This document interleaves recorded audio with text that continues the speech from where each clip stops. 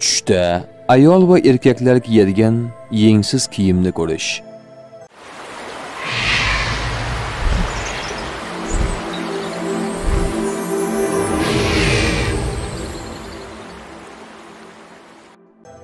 Ibn sirin aytadiki har kim tushida yangi keng katta va yashil kiyim kiyganini ko'rsa dinda izzat obro' quvvat va sharaf topishiga ishoradir.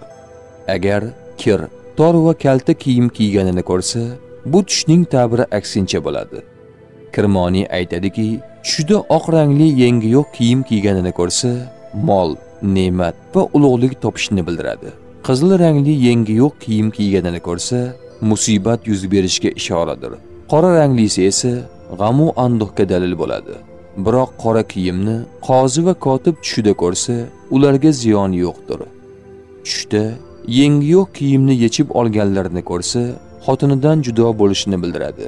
Jafar sodiq aytadiki tushda yengi yo'q kiyim ko'rish yetti narsaga ishoradir. Shodlikka quvvatga muhabbatga izzat va obro'ga martabaga va amalga o'ylagan ishlarini amalga oshishiga va xotinga ishoradir. Tush ta'biri bashorat emas barcha narsani bilguvchi yagona zot Allohdir.